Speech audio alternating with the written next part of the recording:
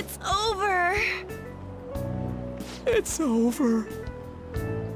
How about you? You traitor!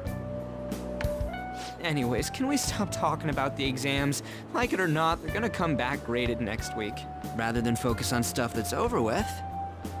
What are you looking at? The usual sight. It's no use. There ain't any useful info. Number of posts are getting less and less too. I am not letting this end as a one-hit wonder, okay? There's no point in getting antsy, though. I know! Why don't we go eat lunch somewhere? We still have some money left over from the other day. I want sushi then, or domestic raised eel.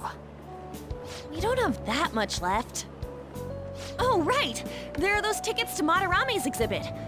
Wait, that's tomorrow. Don't tell me. Was it love at first sight with that Yusuke guy? It's not like that.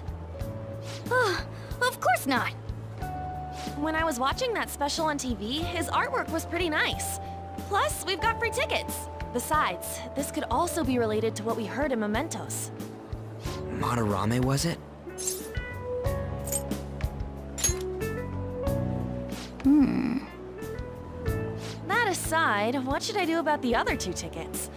Wanna go appreciate some fine arts for once? Fine arts, huh? I suggest we should all go together. Appreciating the fine arts builds character. A phantom thief who can't identify an original is lame. Well, if everyone's going, it's settled then. Just the phrase going to an art exhibit sounds kinda mature. Let's meet at the exhibit entrance tomorrow.